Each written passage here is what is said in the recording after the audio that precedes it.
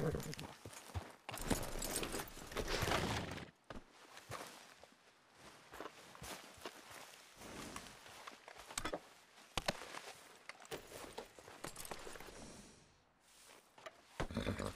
on, pal.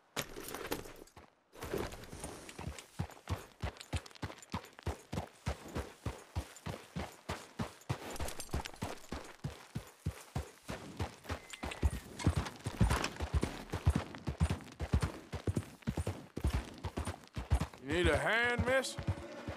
My horse up and died on me, twisted my ankle something fierce.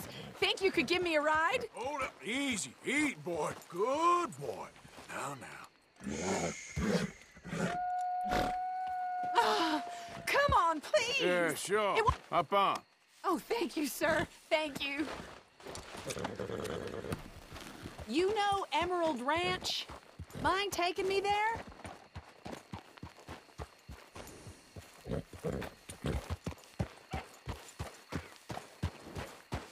We ain't hardly going nowhere at this speed.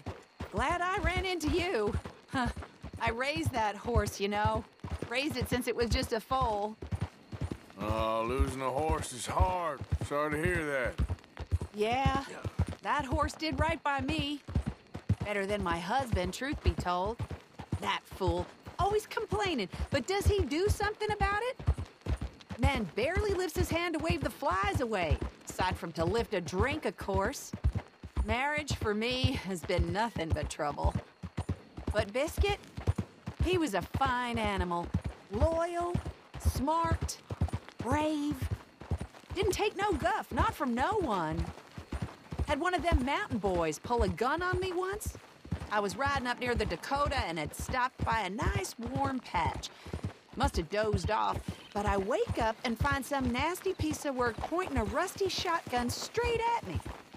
Well, he gets wheezing on, and I must have made some sort of noise because the next thing I know, Biscuit had nipped his ear clean off.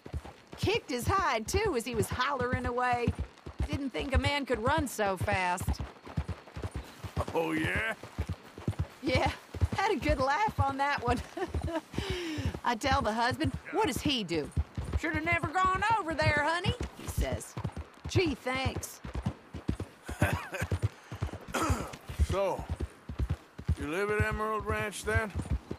For the time being. I was looking for work. They was looking for some help with the gardens. If I waited any longer for my husband to put food on the table, I'd have died of starvation. I'll be moving on soon, though.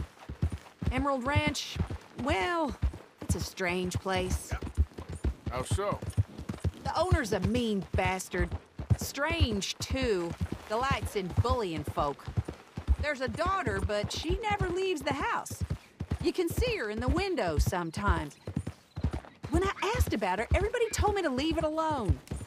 Found an old saloon there, all shut down now, but I went in to have a look, and there's bullet holes, old blood stains. Something definitely happened there, but I couldn't figure it.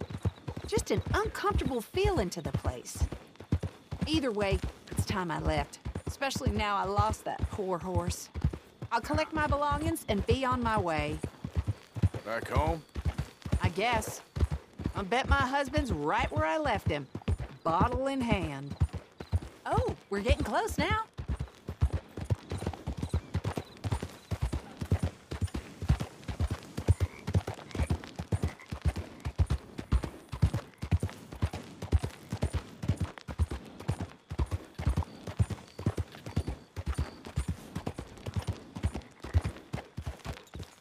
We go.